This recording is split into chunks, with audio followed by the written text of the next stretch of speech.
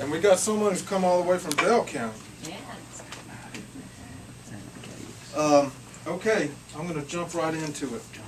Um, well, first of all, I'd like to thank Brenda and Hal for having us here tonight, and the other people involved with Morris Bookshop. This is a great treasure in Lexington. Um, this new book is called The Common Man, and all of the poems in it are written in couplets, little paired lines, and um, each line is supposed to have four beats. In technical terms, we call it iambic tetrameter.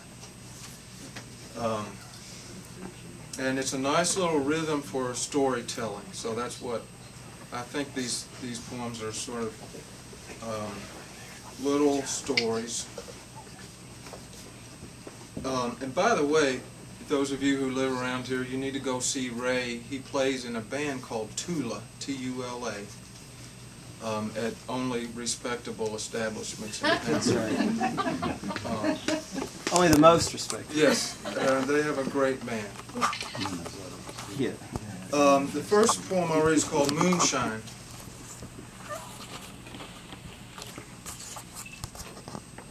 There, some of these are rated PG.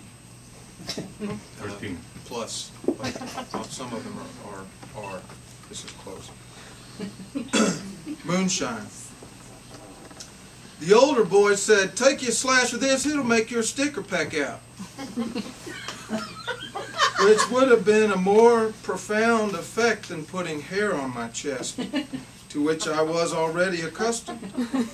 Proverbially, of course, he was right. I took a slash, another, and then I felt an impassioned swelling, though between my ears, as they say, a hot illumination in my brain. The shine had not been cut. Full of the moon it was for sure. I knew the mountain county it came from, my family's section on Little Goose. A distant cousin would have been proud to know another cousin was drinking what might as well be blood. At least the bonds that come with blood, the laugh before the tragic truth, the love of certain women, the hate for lies, the knowledge that death can be a mercy, the vision blurred and burning there in the mind and in the heart.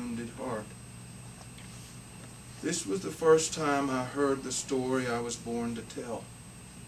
The first I knew that I was in the story too.